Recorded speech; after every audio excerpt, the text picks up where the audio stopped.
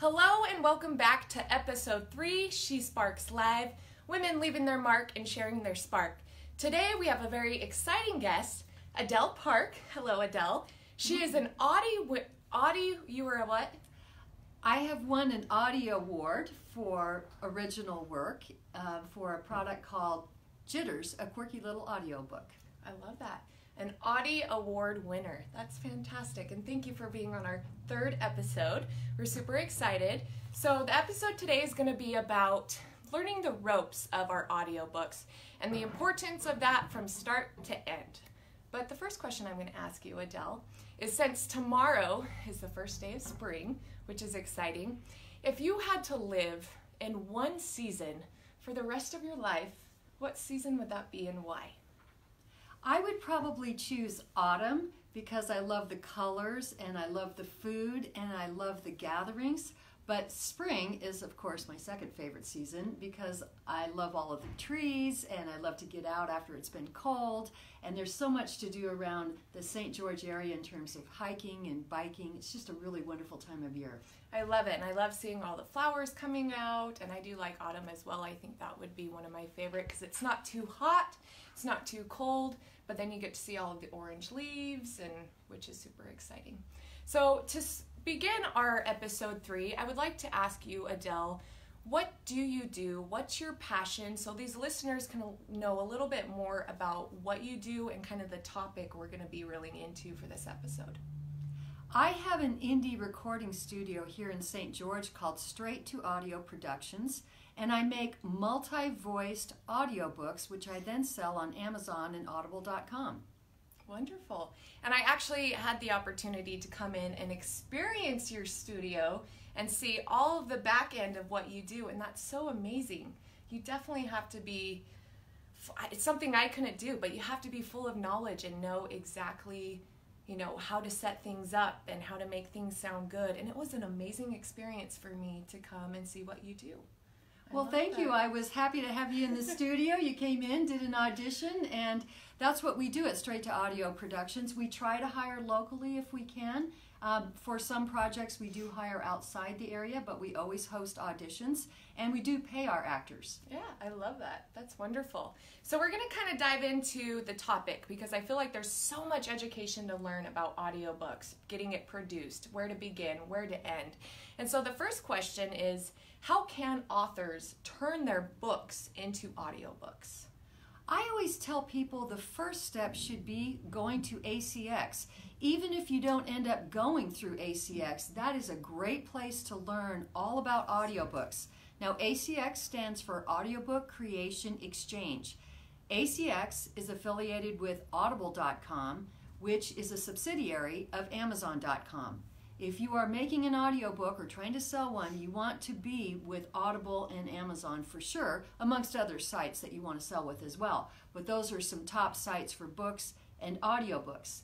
Now, ACX is kind of a marketplace for writers, for narrators, and for studios. So if you're a narrator, you can go to ACX and post your audition or your demo reel. So studios like mine can go there and listen to a sample of your work. I have hired some actors that I found on ACX when I can't find someone locally. If you're a writer and you want someone to produce your audiobook, you can go to ACX and you can find a studio or just a narrator who has a studio to produce your audiobook. Mm-hmm. I actually jumped on that website when we first met, and I thought it was pretty cool that they have all of the actors already there. So if you don't want to do the voice of your own audiobook, you can um, find a source to that. So, what's your recommendations on when people do want to do audiobook? Is it more likely that they do it as their own voice um, and do it record it as themselves, or do you prefer for people to actually hire actors and professionals who do this for a living? Well, I think it depends on what kind of book you have. Ah. Now, let's say you've written a nonfiction and you're an expert in your field. That could really lend a lot of credibility to your audiobook if you are the one doing the voicing. Mm. But let's say that you have written a novel that involves several complicated characters and you're not really an actor, then you might want to consider hiring an actor. Another issue that you should definitely consider is are you going to have a single voice narrate your book or is it going to be multi voice? Ah, When you add voices, you add uh, production costs, you add time, but you also add depth to your audiobook. Yeah, wow, that's very fascinating because I, you know, I'm creating a book and I know a lot of our listeners have created a book or want to create a book and it's the next step is again, how do we bypass getting it published or where do we go? Where do we find a voice? And so that is again acx.com. So just look it up and it'll give you the sources you need. For our next question, I would love to know what are some things that authors should consider when turning the script of their audiobook or their written book into an audiobook? What what should be considered when turning that that transition? Getting back to who's going to narrate, um, if you're going to have multi voice narration, you need to prepare your script in such a way that it's easy to produce that. So, for example, um, if you're going to have multiple characters and they are talking to each other, that makes for a more complicated process. And so, do you have all the actors in the studio at once and you read it all at once where the actors have dialogue with each other? Or um, are you going to do something like I did? I turned my scripts into first person narrations. So each character comes on and gives you their version of the story, and then a next character comes on. And so I only record my actors one at a time. So, you know, that's one of the things that you need to keep in mind is is it going to be multi-voiced? Is it going to be single narration? If it is multi-voiced and you do have multiple actors coming in, who's going to read those lines in between the dialogue? So that's where it can get really complicated um, and really sticky, really. I love that. So we're going to kind of jump back um, to to you and not so much your knowledge. Again, you you told us a little bit about what started your journey, but what are some challenges that you had to overcome, and what again what sparked your your struggles and just you thriving to where you're at now? I think one of my biggest challenges is this tendency to want to hold on to a certain idea about how I'm supposed to promote these audiobooks. And then if that doesn't work, um, you know, sort of an inflexibility in terms of uh, changing up and trying something else. I've become a little bit better about that, so I don't insist on certain things such as, oh, I've got to have a viral video. Oh, I've got to have a podcast that's the top rated podcast. I think it's better to ca- cast your net widely and see what you can reel in in terms of success because I don't think there's one single pathway to you know getting good sales for audiobooks. I think you have to kind of get in there and explore. And that's what's so lovely about social media because you have mm-hmm. all of these mm-hmm. options and most of them are free. Yeah. Is there other audio channels out there other than Audible? Or is that kind of just the main source? So if I'm people also- wanted to expand out of Audible or have other channels other than a podcast, are there other Audible places to go and purchase those books? Absolutely. I'm selling some of my products uh, through Blackstone Audio, which has its own MP3 download site. Okay. Um, of course, Barnes and Noble has uh, an MP3 download site. Oh, I didn't know am that. no longer offering mine um, through uh, um, Barnes and Noble. Barnes and Noble because I had an agent at the time that had placed me there, and then when I Ah. decided I would make more money going just handling all the business end on my own. I kind of lost my seat at Barnes and Noble, and I've never, frankly, reapplied. Um, you do have to have a minimum of three titles in order to get on Barnes and Noble. So I had only So had like three different books, audio yes, books. yeah, three Oh, different titles. So Okay. I, at the time that I um decided to go on my own, I only had two titles, so I really wasn't eligible.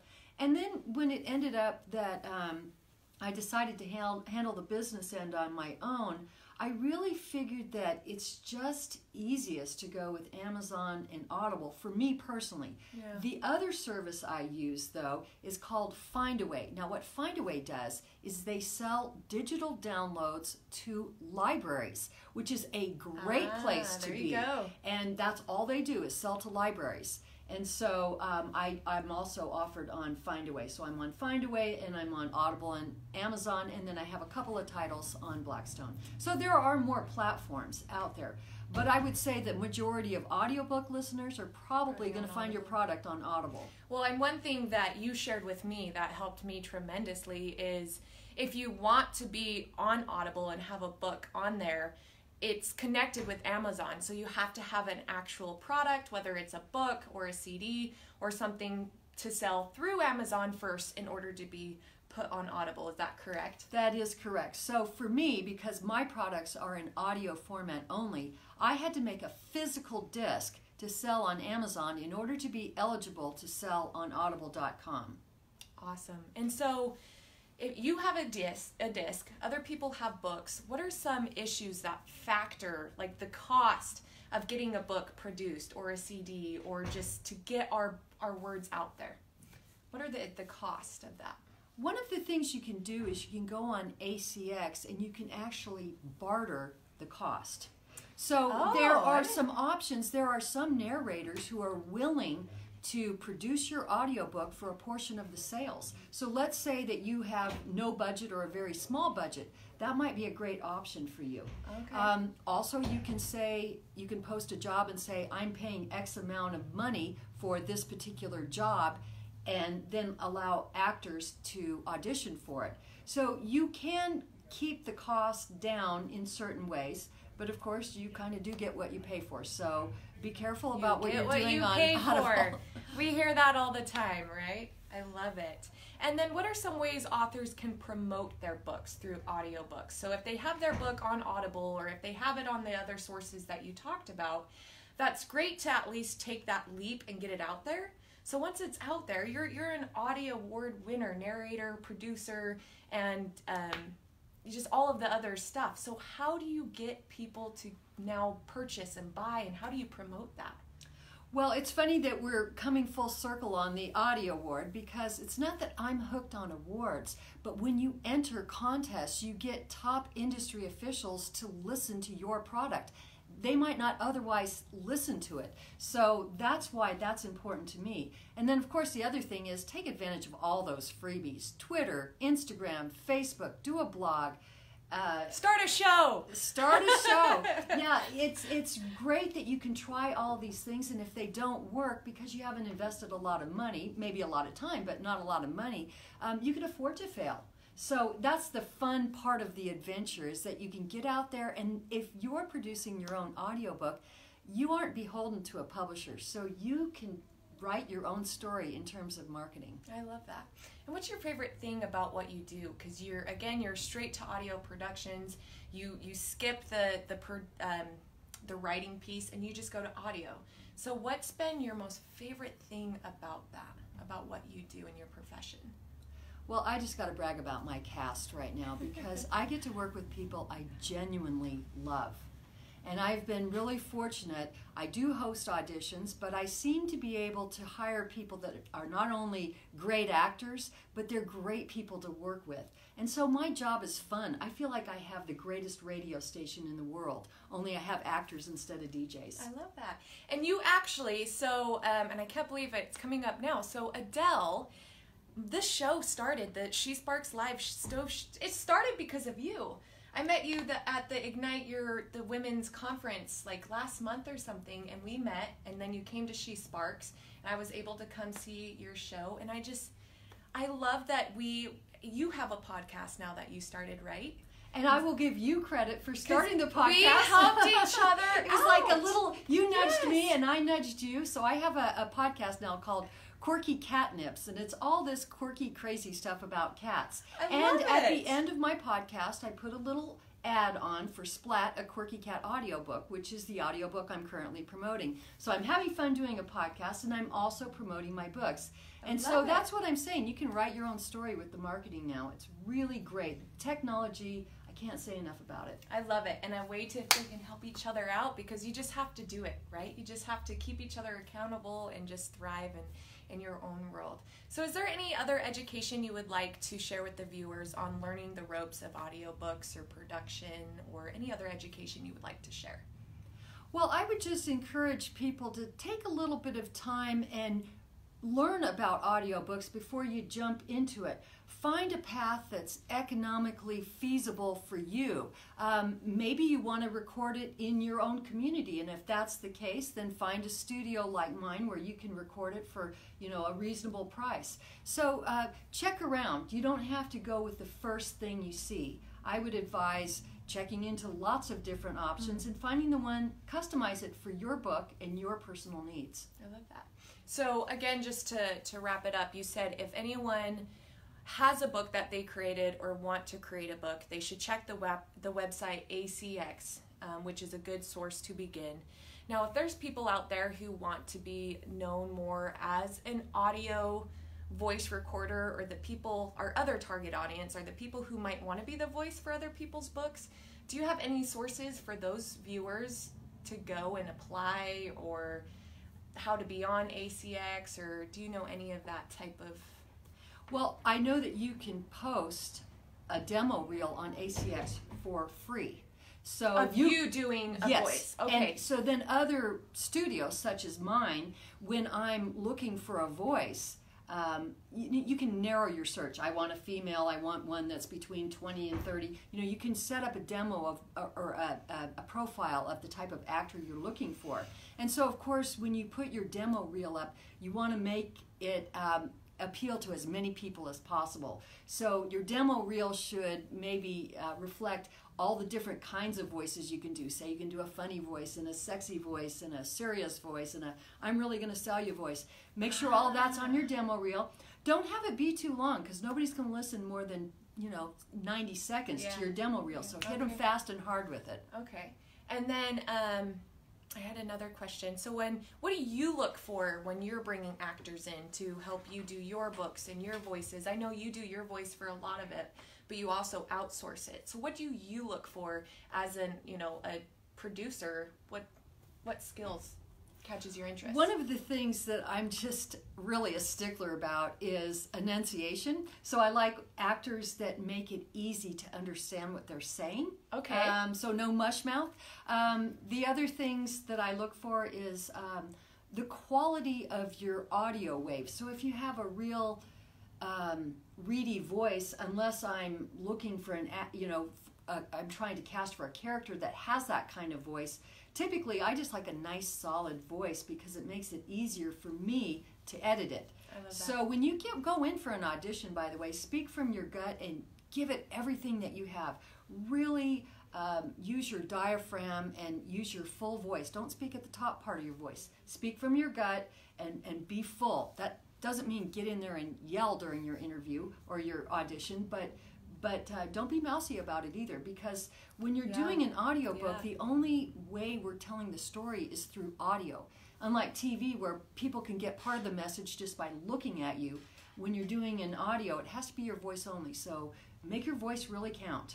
And I can totally uh, back that because when I came on to audition, you know, at your studio, I it felt like I was behind a camera, but in reality, I wasn't. So the advice for me, for those who want to be a voice or want to, you know, apply or anything like that, just be yourself. And if you have the script, then just practice. Just practice, because I think my mistake of when I went into you, um, I felt pretty good walking out your doors, but I should have practiced. And I think that would have definitely helped my audition and, you know, and so just absolutely, yeah. The more prepared you can be, the better off you are. Yeah. So, we're going to end episode three. I would like to know your testimony um, of the women's world and women's empowerment. Like I said, I met you at a women's conference. You did come to a She Sparks event. So, what did you think of She Sparks business and just women's empowerment as a whole? Well, I am all for women helping women. We all need to lift each other up. But you in particular, I saw you on stage at the women's conference and you had so much energy and you connected with the people there. Oh, and you. I felt like you had a strong message and I just reached out to you because you're really hard to resist and I know we're going to see you on a national that? stage. Uh, you you have oh, you. you. have that spark that uh, comes with She Sparks. I appreciate so, that. Um, and you seem to be very gracious about helping other women get their message out, including me. So thank you yeah, very well, much. Women women need women and women get in, get women and women inspire women. In. And when we all get on the same page, we can all lift each other up and just thrive together, which is the most important part. So, it, for our listeners, if they want to reach out to you or do work with you or just learn more about your straight to audio productions, where can they find you or what contact info would you like to provide for them? I have a website, www.quirkyaudiobooks.com, and they can connect with me through there. I have an email option there, and they can learn about the audiobooks that I'm doing That's and see if that is something they, they would even like to be involved with. Um, not all projects are for all actors, and so that's a good way to kind of try before you buy. Okay, perfect. And they can see your products on there too. And And there are links Wonderful. for Audible and Amazon, and yeah, or they can hit me up on Facebook. All right, well, listeners, again, Adele Park. This is She Sparks Live, women sharing their mark and sharing their spark. This is the episode on learning the ropes of audiobooks. Thanks for listening. If you saw something that catch your interest, please share. We would love to spread this education to the world. Tune in next time, She Sparks Live.